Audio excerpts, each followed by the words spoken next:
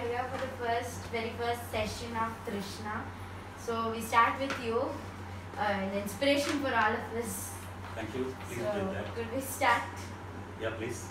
So Uncle, first we would like to know your full name. Uh, my surname is Ellepeddi. Uh, y. And uh, Venkata after Lord Venkateshwara. Naga, because my father used to kill a lot of snakes till I was born. and then after I was born, he took a vow that he won't uh, kill any more snakes. And Chandrasekhar uh, was a name suggested by my mother. It was quite a big name. Ellepeddi Venkata Naga Chandrasekhar. So initials are shortened to YVN. Uh, and can we know your birthplace? I was born in Madras, it was known then. Now it is known as Chennai. And your birthday? I was born on the 27th of October 1965. So could you please tell us about your parents? My father belonged to a family of agriculturalists in the village called Pedapudi near Tenali, which is in Guntur district. My mother, Leelavati, she the daughter of uh, a branch manager in insurance company and my grandmother a homemaker. Both of them were also from Guntur district. My mother did her uh, PUC, it was called, which is equivalent to intermediate at the time of her marriage. She got married at the age of 17. And uh, my father, who was then working as a lower division clerk in uh, a lab in Hyderabad, the DRDO lab, Defense Electronics Research Laboratory. And uh, they both, both got married in 1963. I am the elder of uh, two children to my parents, brothers. Uh, I still stay with my mother, and uh, my father passed away in 2008. Please support my parents. Uh, Uncle, can you please tell us about your childhood and walk us through your education? Education. education. When I, I mean, I was born in Chennai, and uh, later I came along with my mother to my parents' place in Hyderabad. And uh, we were a joint family then. My father and four of his brothers, his sister, his parents. So I don't have much collection, vivid uh, memory of my early childhood. But I remember the time when uh, my grandfather, maternal grandfather, was working in Madras at that time. He came and uh, told that this house is too small and too cramped for my grandson. So I want him to take him back. And um, he was also very much afraid that I might uh, pick up some foul words from my uncles. That was something that uh, he was worried about. This fellow's language is deteriorating. Uh, I don't want to keep him here. And um, at the age of four, uh, I went away from my parents to Chennai, Madras, and uh, started staying with my maternal grandparents. Uh, I studied uh, until fourth class in Madras. The question is small about childhood. I have a big story. I will try to tell you, uh, compress it into about four minutes or three minutes. I already consumed a minute and a half. I was um, also raised by a Telugu film character actress of that time. We used to stay in her house. Uh, she goes by the name Surya Kantam. Oh, Uh, so she was like a second mother, or uh, shall I say, second grandmother to me. And uh, my parents were there in Hyderabad in scorching heat summer and bearing the winters, whereas I was uh, in Madras enjoying at the age of four and a half or five years, first time the air conditioning in my life. I used to go to her house and it used to be so cool. That was the first time when I tasted apple juice. Uh, she got it in a glass. I have fond memories of that place. But she was also a very strict disciplinarian because I used to do a lot of mischief uh, in and around the place. I was the most mischievous boy in the whole gang there. She was unmarried officially and uh, she didn't have any kids. So I was in fact uh, practically ruling over her house. But uh, whenever my grandmother used to face problems from me, she used to go and tell her. Then uh, she used to tell, Have you seen me in that movie? I am like that even outside. I'm going to take you to task. I don't spare people. She used to have a habit of waving her left hand. She, and then she told me one funny thing is that I have a glass uh, window sort of thing. uh, In, she used to stay on the top floor. I used to say, I'll be watching you through that. Be careful. She used to tell. And I always, whenever I used to go to take bath, I used to see up whether she has a window there in the bathroom. I was always scared that she will see me when uh, I'm taking my bath. I one day confided it to my grandmother. She said, "No, "It is not there in the bathroom. It is everywhere else." I never found that mirror, but that was a fond memory. I was uh, the darling of uh, my uncles and aunts from the maternal side. Whatever interview you are going to take, whatever things you are trying to learn about me, was summarized my, by my grandfather when he wrote a poem about on me on my fifth birthday. Two lines of that. But the first line, the first few words will itself give you what I am. ఏ రోటి కాపాట పాడగలవాడు చిన్నిమాసే చంద్రశేఖరుడిని చల్లగా చూడాలి ఏడు కొండలవాడు but ఏ రోటి కాపాట పాడగలవాడు he recognised that trait in me and was five year old so that's how it he's been trying to match horses for the courses Was a very happy childhood. After my fifth, uh, I mean fourth class, I returned to my parents uh, in Hyderabad because my grandfather had retired from service then and uh, shifted back to Guntur. So that was my early childhood. I, I was educated in uh, three schools. One school, I didn't know its name, I still remember it. It was like um, the hangar in an airport uh, with some roofing of corrugated sheets, but I used to call it aeroplane shed. I don't know why my first school is still an aeroplane shed. And uh, for any security question is asked for any Google account or anything, what was the name of your first school? I always write even to this day aeroplane shed. Uh, then I shifted to another uh, school, which is the Manish Children's School. It was called, and it's now located. Still, it was still there about 10 years back when I went to Madras, and um, uh, it's uh, close to the Madras Music Academy in Alwarpet. We used to stay in CIT Colony, Chennai, and uh, that was the place where I first grew have good interest in music. When I first listened to Gayatri or Meena, she's a, she was a child prodigy, and uh, Gayatri, if you go and do a YouTube search, you'll find that she is an excellent uh, Veena exponent.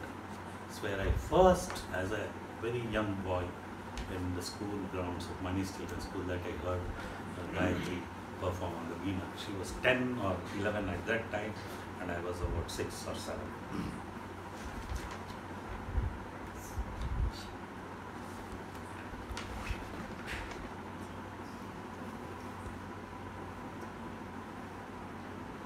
What are the most memorable events in your life?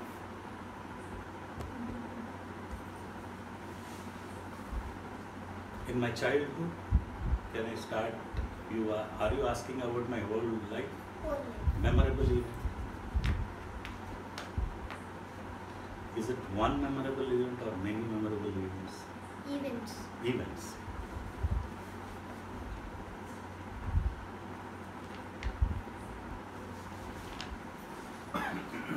what would rank first for me as a memorable event in my life the birth of my kids. Nothing to surpass that pleasure.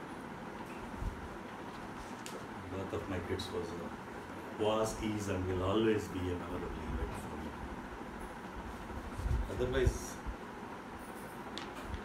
uh, as a childlike desire, which is known to a couple of people, so I, I always keep few set of people whom I always want them to praise me. So whenever they praise me, that becomes a memorable event for me.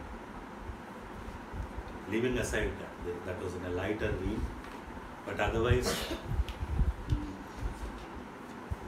I would uh, rank next to that is um, an everyday event which I used to have. That is uh, when I go to bed, uh, I used to lie down on my father's chest region and try to go to sleep. That that feeling I still have as my memory. Uh, that um, say, shall I say the aroma of my father, uh, his normal voice, his breath mixed with his. He was a he was a very uh, he was a chain smoker, so he used to have that cigarette smell and this body body smell, everything combined together. It was peculiar and unique to my father, and still that you know being with my father and listening to him speak that that's a memorable thing. This interview is being recorded, so I would say that meeting my wife for the first time is a memorable thing in my life. In addition to that, uh,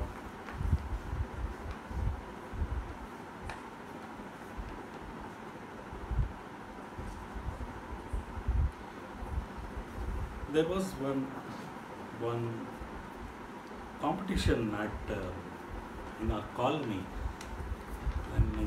boys used to have some running and um, uh, some athletic events. Girls used to participate in singing and uh, debating.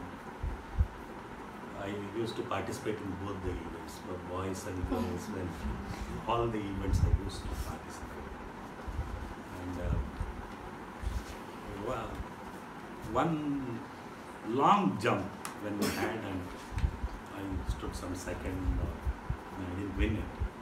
But one person who was very elder to me, I still remember the way he you know, appreciated me and um, said that um, you should extend this spirit of winning to every phase of your life.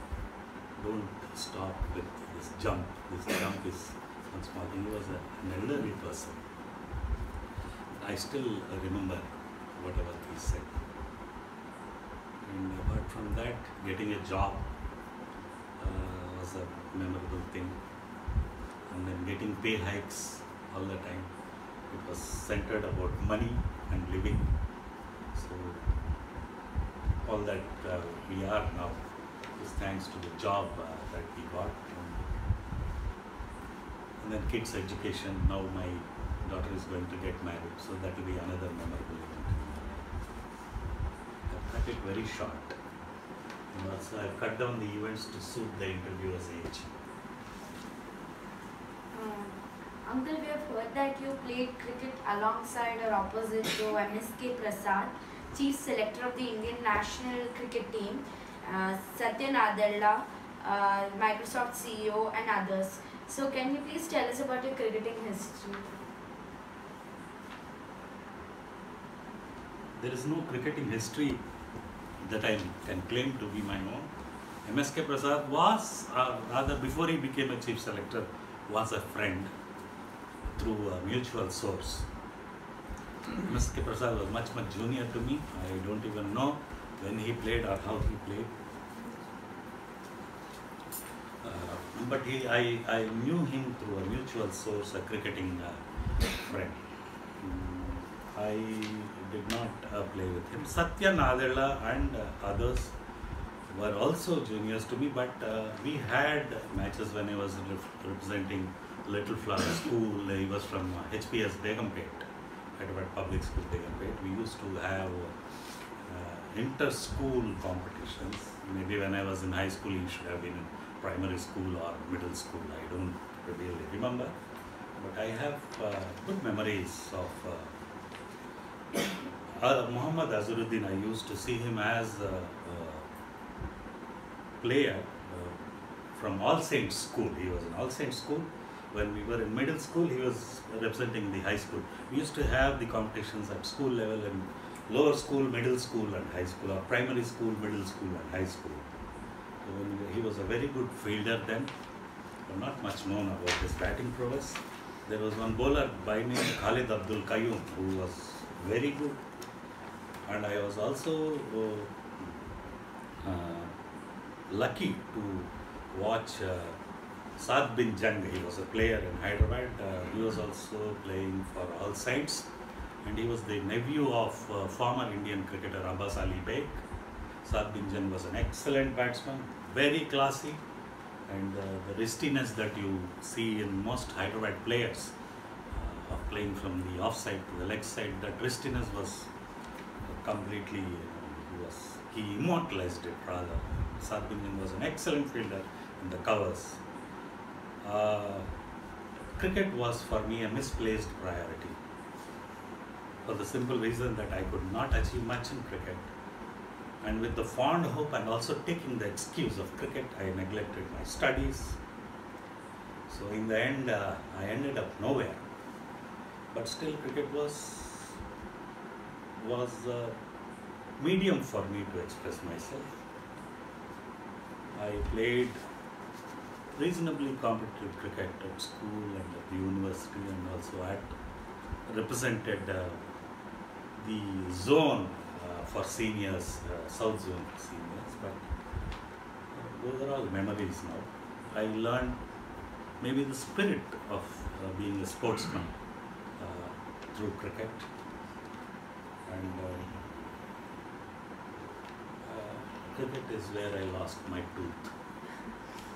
So, if there is any loss from cricket other than studying and being a good student, physically I lost a tooth while uh, in a uh, practice session in our school. Recently, when I visited Hyderabad, I went to the very spot where I fell down and lost my tooth. I was trying to remember it. But still, cricket, uh, nice that you asked me about it.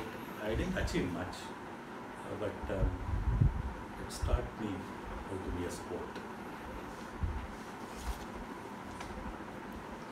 Uh, what are the other activities or fields you have explored? Could you please tell us about them? There was nothing that was not worth exploring for me. Even when I did, I did still don't know swimming to this day.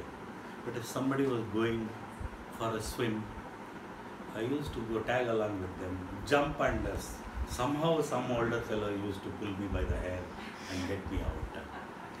And I am the only person, perhaps, if you would have visited Hyderabad, you know that there is a uh, earlier past river which is now full of filth, Musi River, which have all the uh, outlets from the drainage going uh, into it.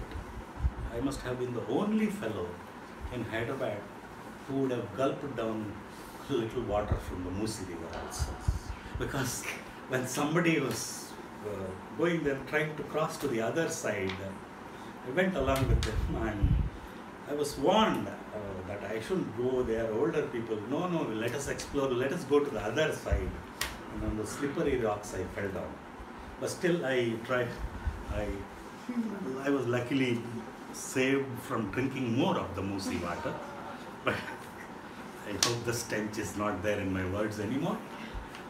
In addition to that, all sports, all sports, uh, whether they were indoor or outdoor, I tried my hand at that.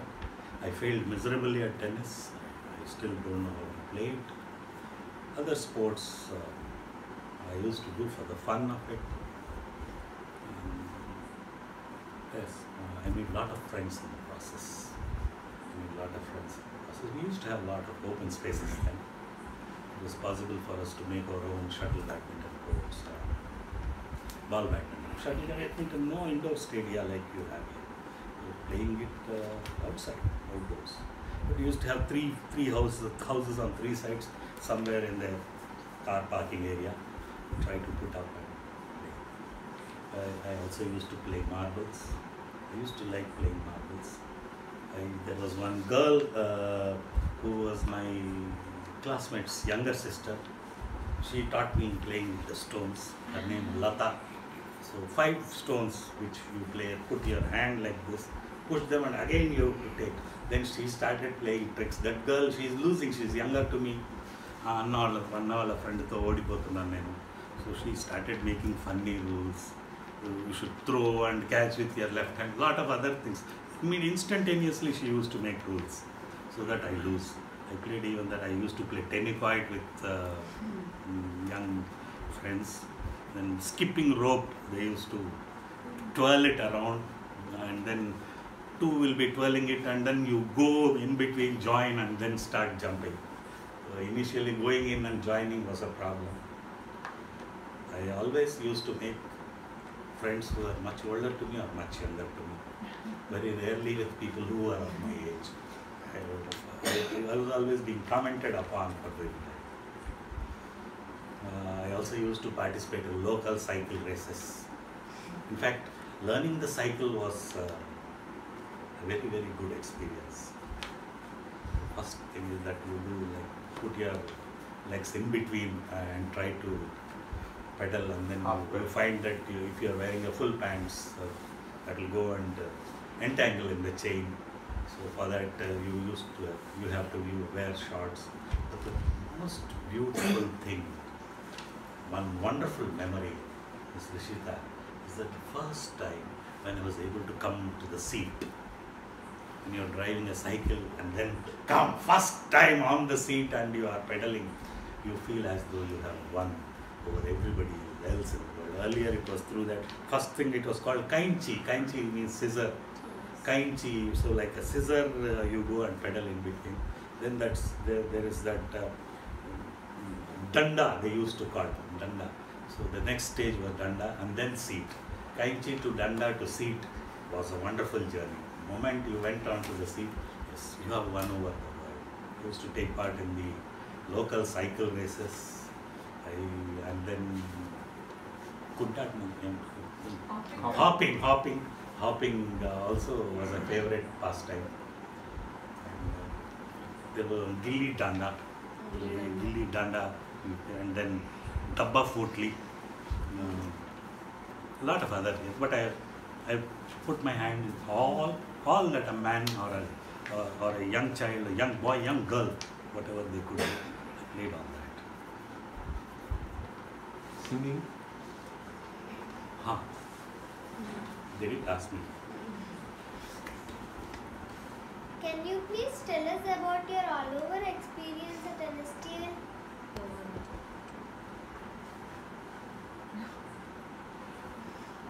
This NSTL,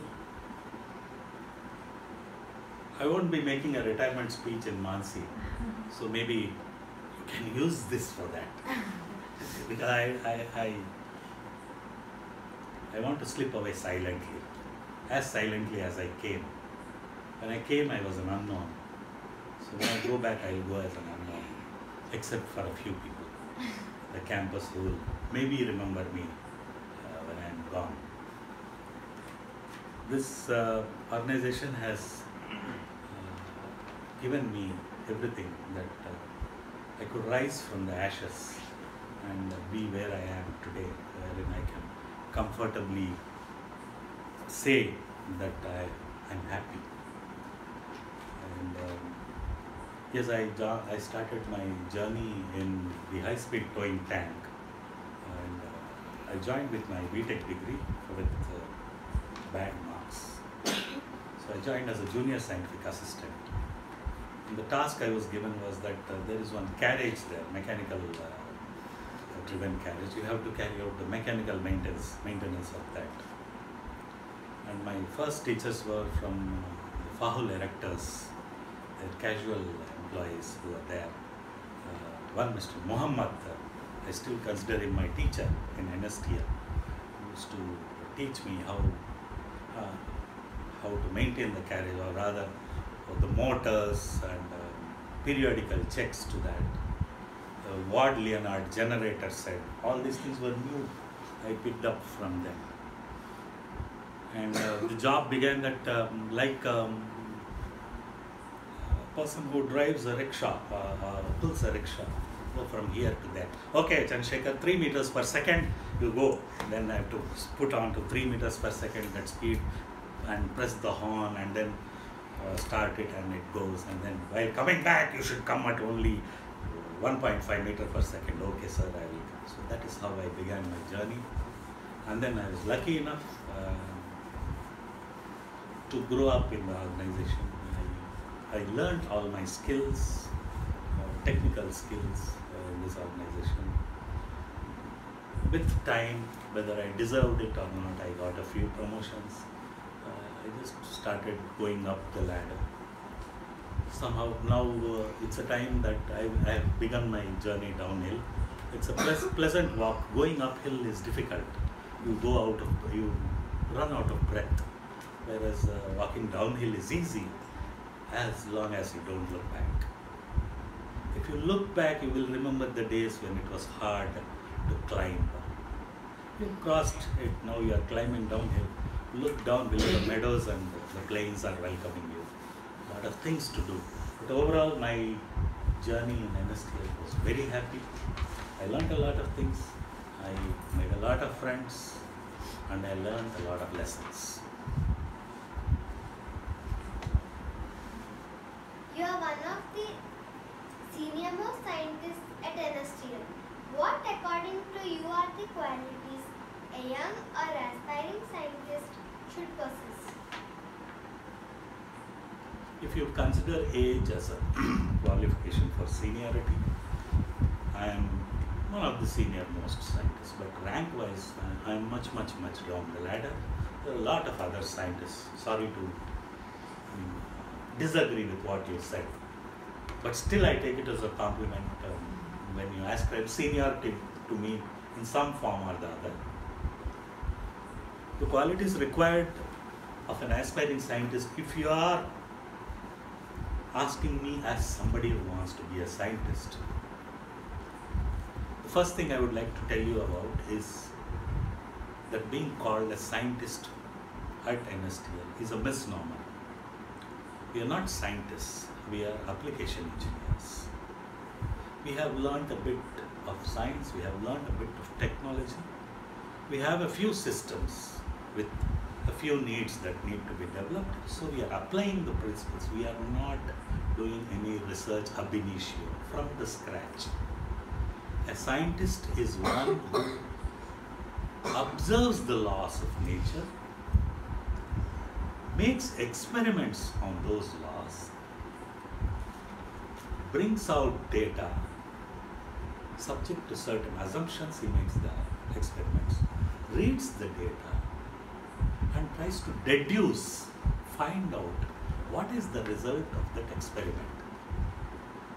And then tries to apply that to the original law and modify it in such a way that there will be some useful technology that will spin out of it. That's what a scientist is supposed to be. Now, if you are asking me if you really want to be a scientist, from whatever little I picked up by watching some good scientists, but also by reading about them, the first thing that a scientist needs to have is curiosity. Why is it like that?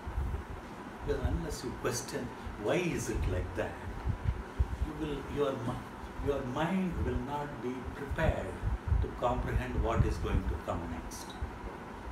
If you see something and leave it at that, you will not know why is the tube light burning or glowing like that. What is behind it? Should be more curious.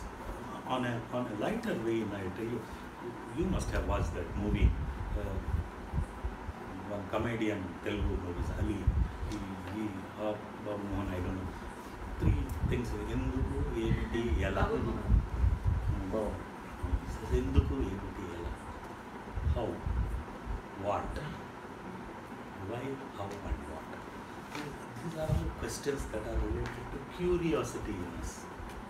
Why is the sun rising only from the east? Why is that flower only red in color? Why is that tree bearing flowers which have different colors? Why is it that the pressure cooker shrill sound when the food is ready? Why am I able to pedal the cycle only forwards? Why am I not able to pedal it backwards?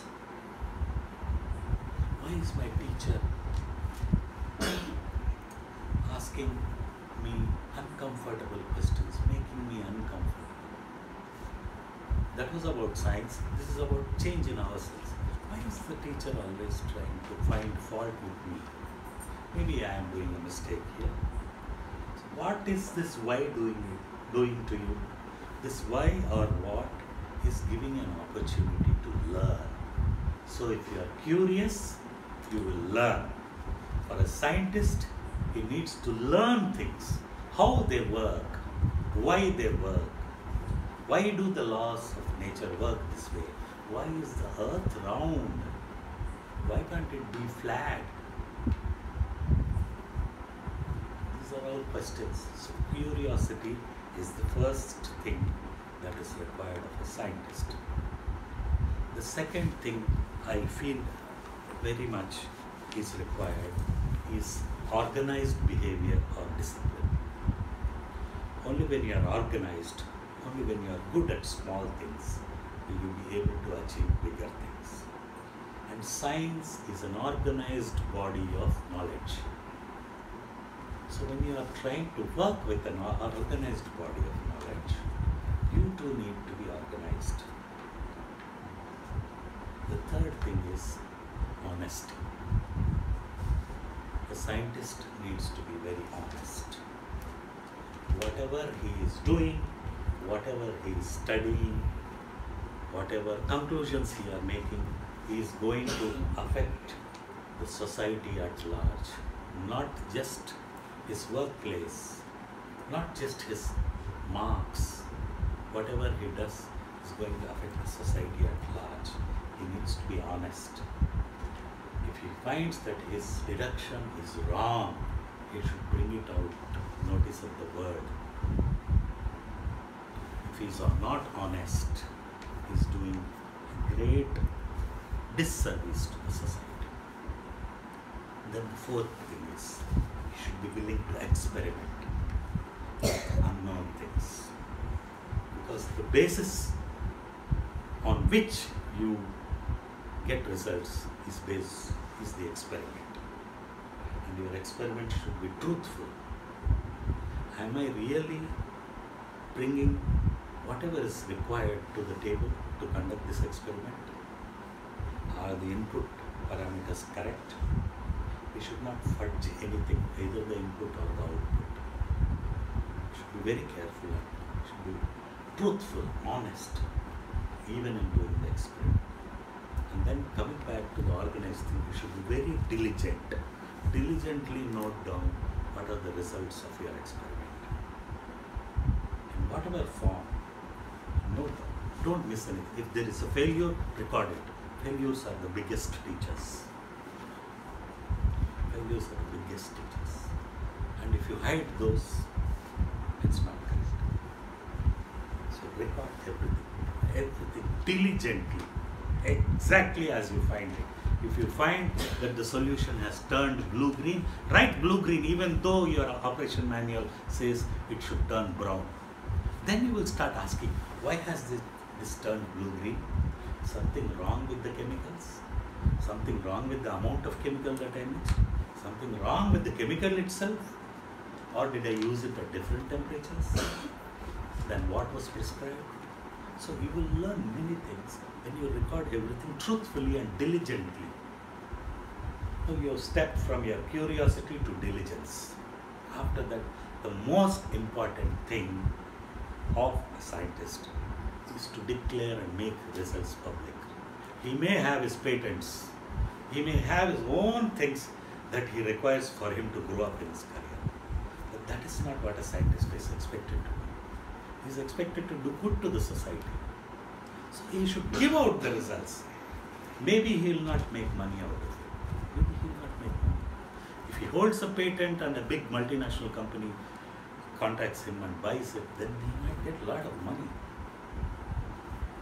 The problem with everybody around us is that we are working day in and day out to solve the problems of the rich, whereas the rich by themselves don't have any problems. Whatever work you do, if it is going to benefit the common man, common man in the society, that is where your work finds purpose. If you are going to make the house of a very rich man much more better, it's good, it will fetch you money, it will fetch you name, it will fetch you fame. But if you build an earthquake resistant house at a low cost for people in earthquake prone areas, that will may be recognized, may not be recognized. You might get some political patronage later, later and maybe before you die you might get a Padma Shri. It is possible that you would.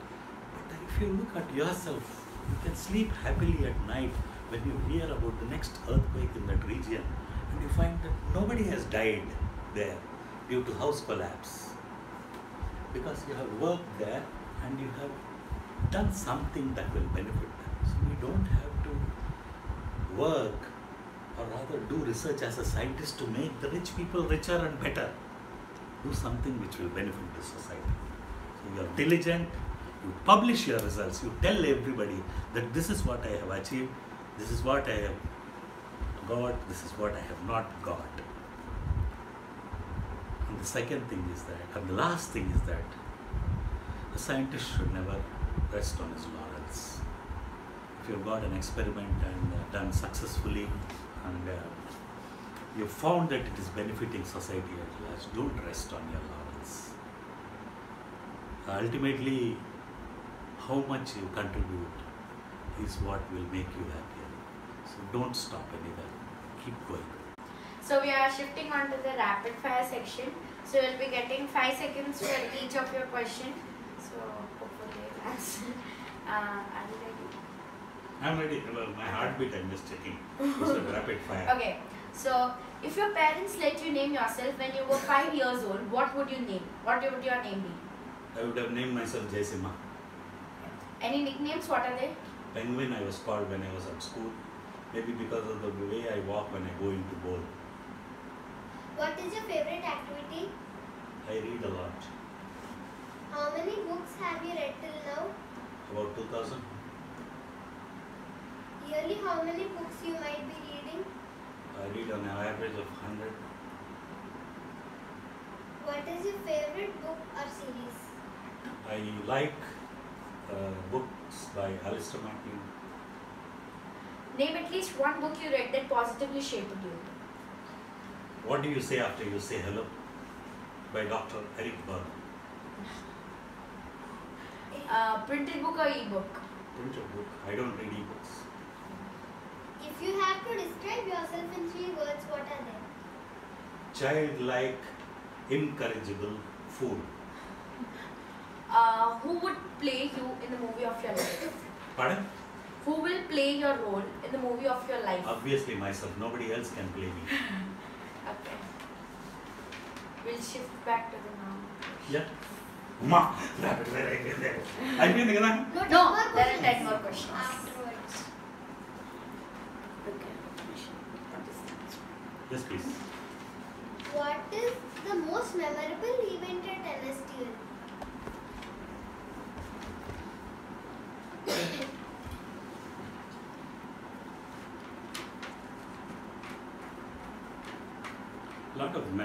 Associated. So, most memorable.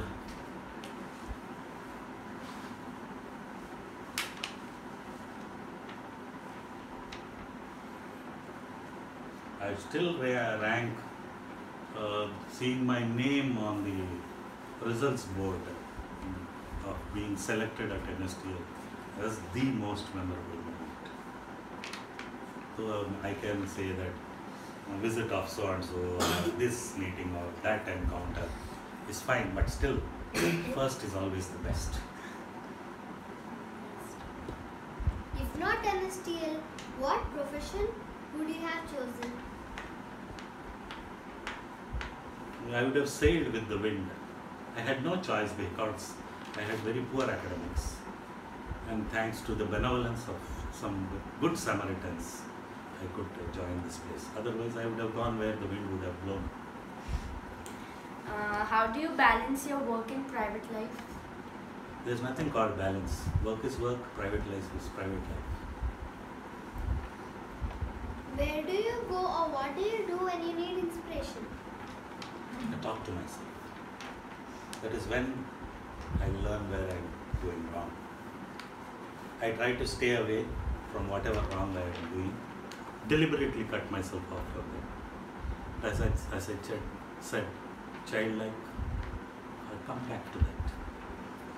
It's taken me a lot of time to learn, unlearn, learn, unlearn. I haven't yet learned. What is the best piece of advice you have, rec- you have received till now? Be yourself is what my father told me. Any predictions for the next 10 years? I name the craziest. Prediction for the next 10 years is there is only one word that will dictate our lives in the next 10 years. That is called, it begins with the C and uppercase capital, it is called connectivity. You are going to be connected to everything and everybody around us. How well we manage this connectivity, how well we channelize the energy in that connectivity, and how well we utilize it for our good is going to dictate how the world will lead its life in the next 10, 20, 30 years. So, connectivity is the key for everything. What is your cra- craziest prediction of the future?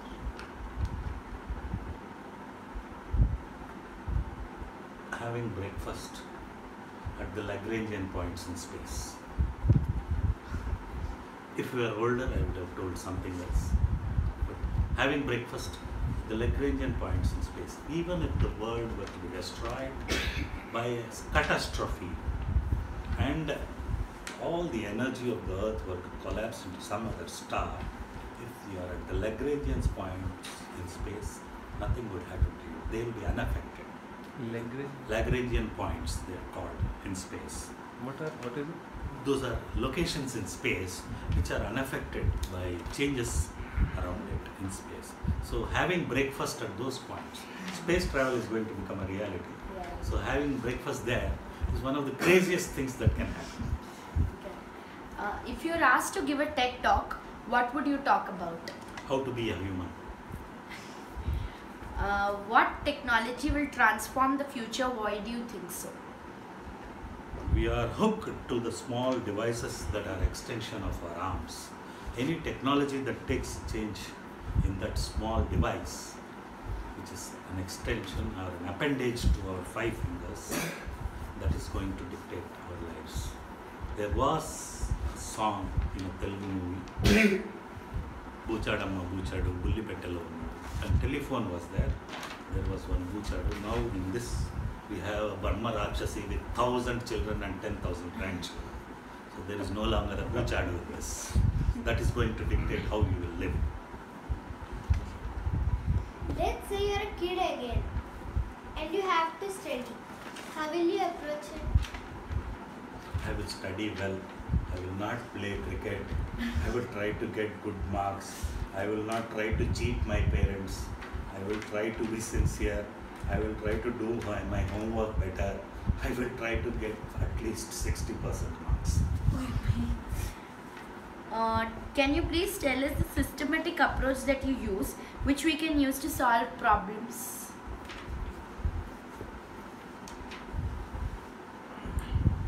It may not be right for me to tell you about a systematic approach because randomness has always been my forte. There is nothing systematic about me. But you can learn from the lives of people who are more systematic. Your question itself has the answer. You follow a system and be systematic. That's success.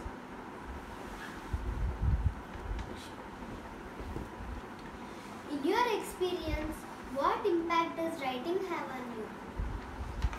When you write, you give voice to your thoughts. When you write, you let the world know what you are. When you write, you will be able to understand yourself better. When you write, you will be able to communicate better. When you write, you will have an opportunity to touch lives better. When you write, you will know what is right. Uh, can you please tell us any three things that you wanted to share with us, uh, but you could not come, but we could not come up with a question for that. I should appreciate you both for uh, the wonderful questions that you prepared. I don't think you haven't forgotten anything at your age and uh, are, how shall I say, good achievement that you have uh, in your life till now. You have covered almost almost everything. There is nothing you can't. I can't name one. So forget about three.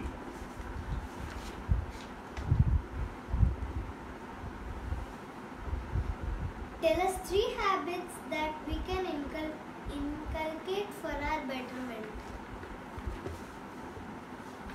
As students, there are three laws that they have to follow. First law is study, second law is study, third law is study. Unfortunately for me, it was the fourth option, none of the above.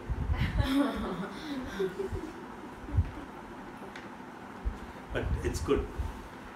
Follow the path set by your predecessors, listen to your parents, while you have the inclination, as long as you have the inclination to learn, read well, read wide, read long.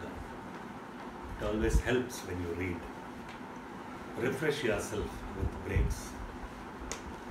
Don't get caught up in the web of monotony. Try to do things different within the boundaries of family and social acceptance. Grow wings, make your wings stronger, and soar high. So our questions end here, but we Thank do you. have ten more rapid round questions. Uh, so we shift back to the rapid fire. You have again just five seconds to answer the questions. So we start? Yeah, please. What What is one of the things that you would put on your bucket list? I want to go and visit uh, the place where Shakespeare played his first drama, Stratford upon Avon in UK. That's one number one on the bucket list. Number two, I want to meet Donald Trump. What is your favorite thing about someone in your family? I loved my father. I love him still for his courage and his strength in, uh, in times of distress and challenges. Uh, what is your favorite holiday destination? Can you name one in abroad, uh, one abroad and one in India? In India, it is my home sweet home. That is where I like to enjoy my holidays the most. Abroad, anything that gives you happiness. Maybe places where um, you can roam around in nature.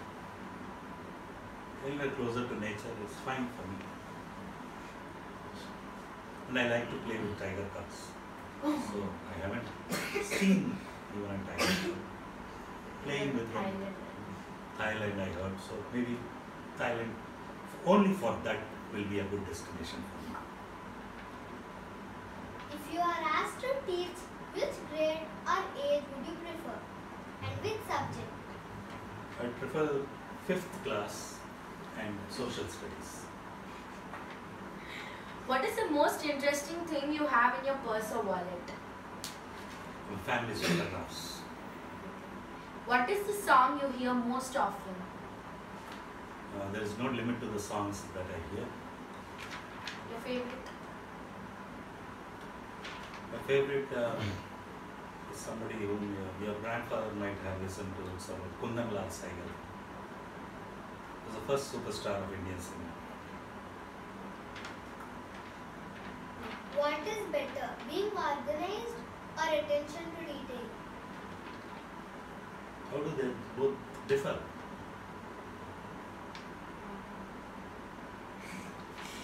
Uh, being like we are like in the sense that uh, you want to You are fussy about small things. Yeah. We are giving attention to detail and uh, being organized. Both are qualities of the female race.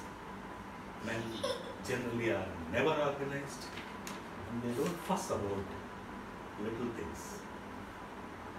Every man initially was in the mother's womb a woman until the extra chromosome set in. So we do have a little bit of a woman in us. We always want to be organized, but we are never organized. But still, I would tell you, that being organized will always help. If you could talk to the President of India, what would you talk about? I would uh, talk to him about trying to build a nuclear shelter for everybody in every town or city.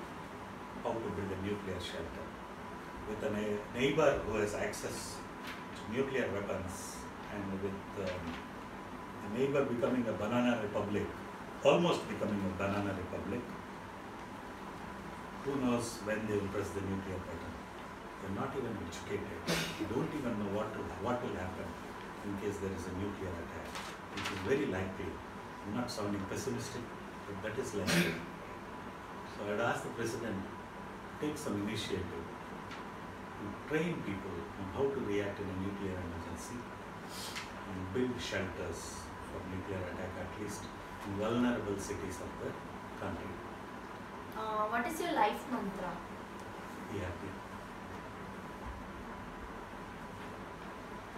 If you were to write a book about yourself, what would you name it?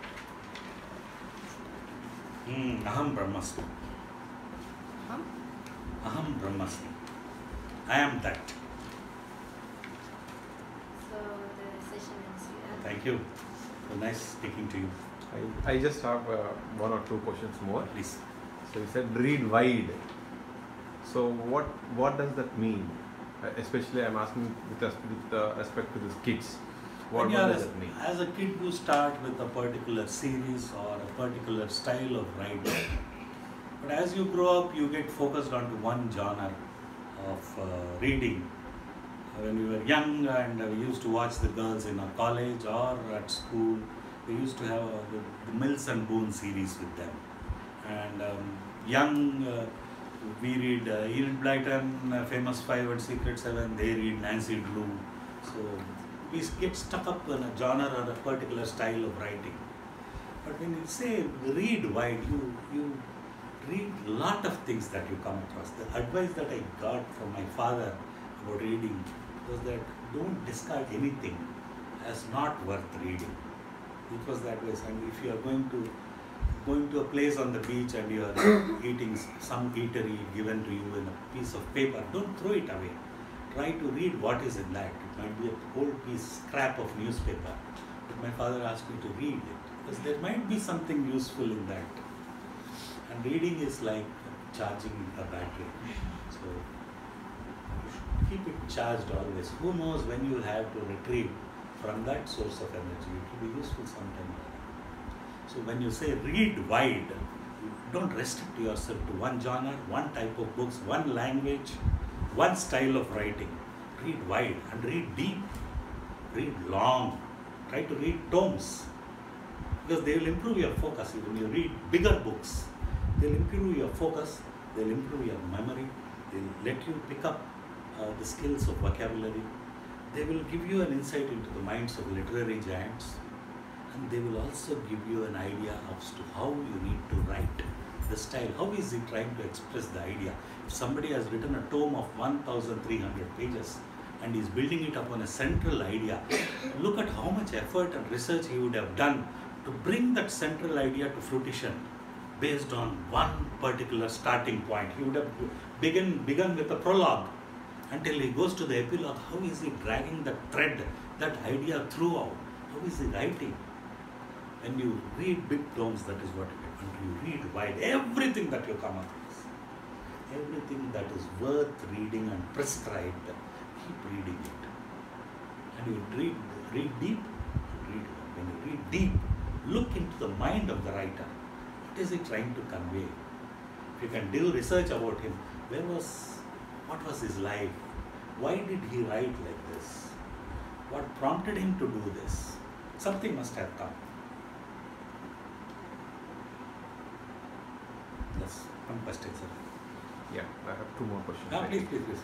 Uh, these days, uh, these kids have a lot of uh, activities, school activities, a lot of activities, homework, study, and they're into sports, arts, dance, music, whatnot, everything, almost everything. So, how much time you used to read when you were in school, and what do you suggest for this generation kids? The kids of the present day generation are spoiled for choice. They have so many things to choose from. The variety of things, the variety of distractions, the variety of getaways that they have are immense compared to what we had when we had in our childhood. Reading was always secondary for a person like me. But if it was restricted to something other than college or school curriculum, I was a voracious reader. There used to be a lending library uh, in our colony, every day, every single day, I used to go run to him and exchange a book. Was always surprised. Do you only see the pictures or do you read? Was what he was asking. But I was always Trishna, thirsting to finish it quick, so that I'll get the next book. So, but nowadays um, we have a lot of choices. The kids are also the ambitions of parents. Whatever we didn't achieve, they have to achieve. The kids have kids have become the pallbearer for your desires.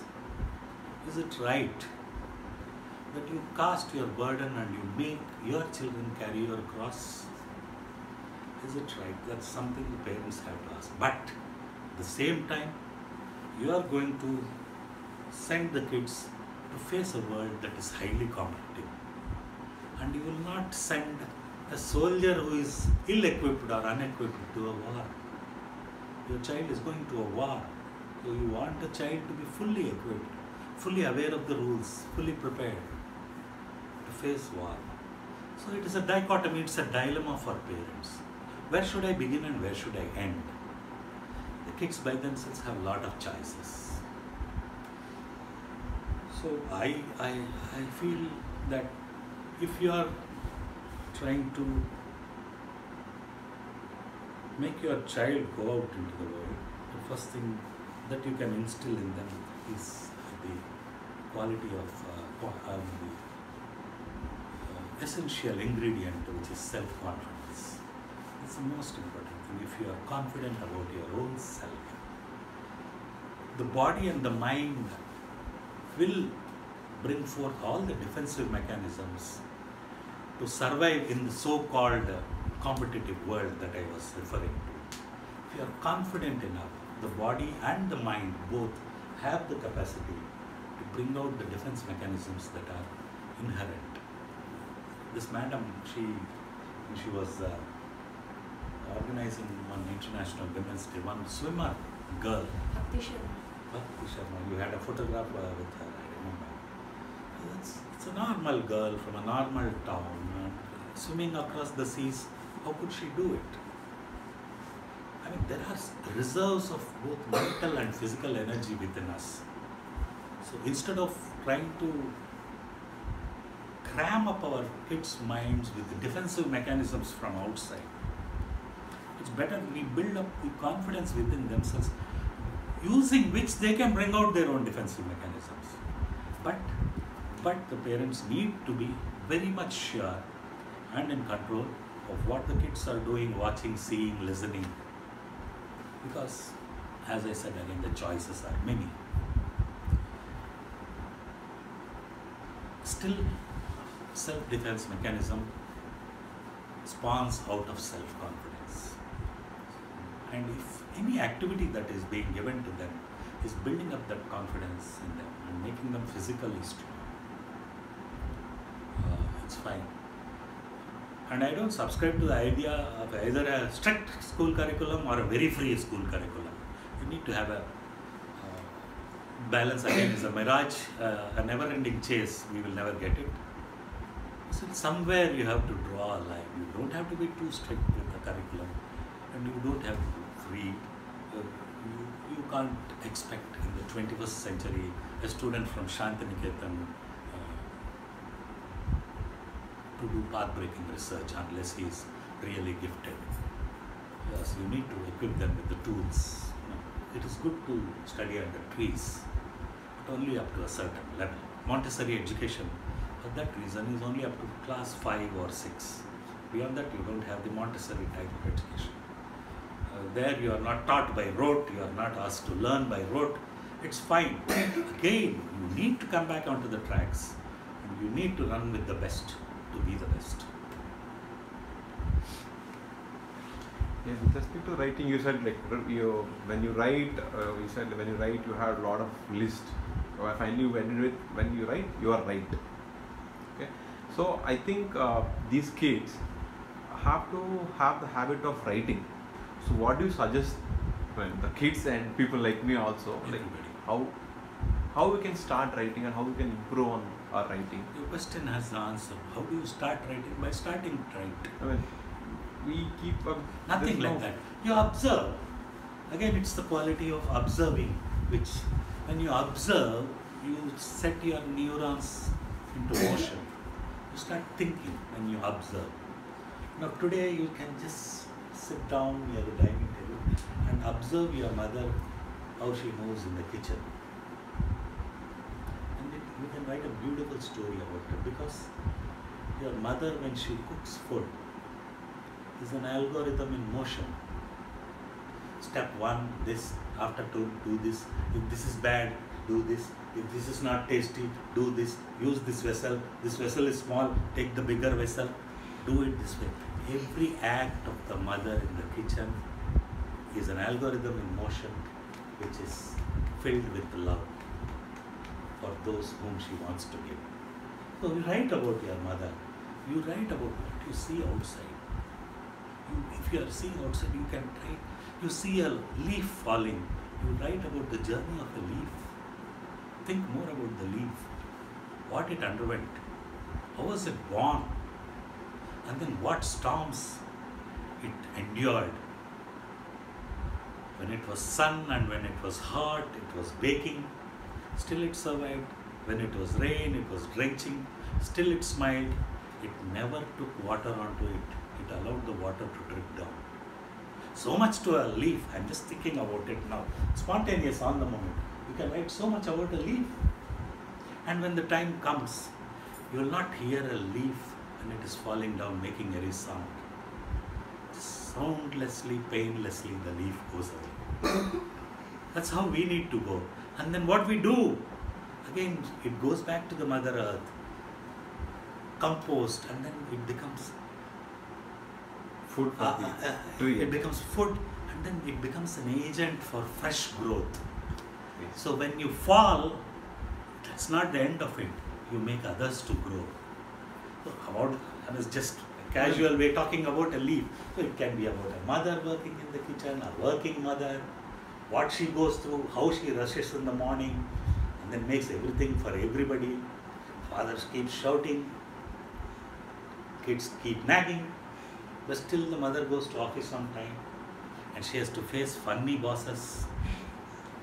She has to go through a lot of things. She has to come back and work again. A Lot of things to write. I've taken a lot of your time, but I, I felt happy interacting with you. If you have one more, two more questions, fine, sir. I'm, it's okay. That's it. Thank you.